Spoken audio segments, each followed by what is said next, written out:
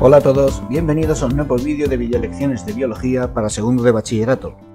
Os recuerdo que en nuestro canal de YouTube y en nuestro portal Aprendo en Casa Región de Murcia podéis encontrar vídeos y recursos tanto de biología como de otras materias de segundo, que os pueden ser de utilidad para resolver dudas que os puedan surgir preparando vuestros exámenes de acceso a la universidad.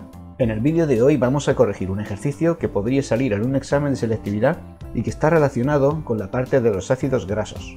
El ejercicio dice así. Ordene los siguientes ácidos grasos de mayor a menor punto de fusión. Láurico 12,0, palmítico 16,0, esteárico 18,0 y oleico 18,1 cis 9. Este ejercicio puede parecer difícil, ya que por lo general las temperaturas de los puntos de fusión no suelen aprenderse de memoria. Sin embargo, podemos comparar de forma relativa cómo podría ser dicho punto si hemos estudiado algo sobre las propiedades de los ácidos grasos en la parte de teoría. Como ya deberíamos saber, el punto de fusión de los ácidos grasos depende de dos factores. En primer lugar, la longitud de la cadena alifática de hidrocarburos, lo que tendría ser la cola del ácido graso. Y en segundo lugar, el número de dobles enlaces o insaturaciones que presenta dicha cadena. Cada doble enlace, según sea su tipo, podría introducir acodamientos en la dirección de la cadena, que impedirían la unión de esa zona con la cadena alifática de un ácido graso adyacente. Esto va a estar relacionado con la existencia de interacciones de Van der Waals entre cadenas de ácidos grasos distintos, que aunque son cortas y débiles, su alto número aumenta la estabilidad del conjunto de ácidos grasos y por tanto afecta su punto de fusión. El ejercicio nos dice, usando la nomenclatura propia de los ácidos grasos, cómo es cada uno de ellos. 12,0 en el caso del láurico significa que la cadena tiene 12 átomos de carbono y ningún doble enlace entre ellas. 16,0 en el caso del palmítico indica que este tiene hasta 16 carbonos en la cadena y 0 insaturaciones.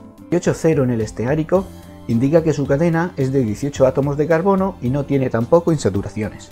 Sin embargo, el ácido oleico, que tiene 18 átomos de carbono también, va a incluir un único doble enlace entre los carbonos 9 y 10, numerándolos desde el primer carbono que sería el del extremo del grupo carboxílico. Ese doble enlace sería de tipo cis, por lo que se va a producir un acodamiento o curvatura de la cadena. Si fuese trans, no se daría esa curvatura, y había que tenerlo en cuenta porque esto repercutiría en el punto de fusión.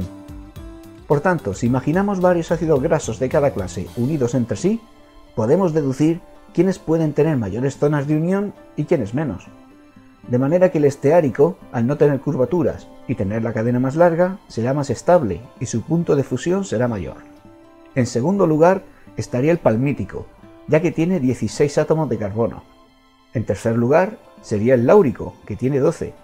En cuarto lugar quedaría el oleico, que aunque presenta 18 carbonos, podríamos considerar que las uniones van a producirse principalmente entre las partes de hidrocarburos que se mantienen rectas y que tendrían solo 9 carbonos de longitud.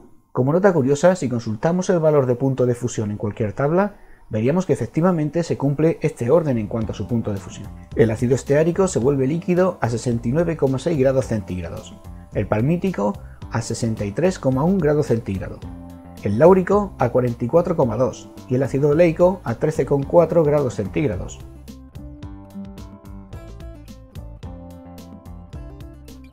Como veis, es frecuente que pregunten acerca de algún contenido de forma aplicada, y no simplemente pidiéndonos que lo expliquemos de memoria, ya que es la mejor forma por parte del examinador de conocer si realmente se entiende lo estudiado o no.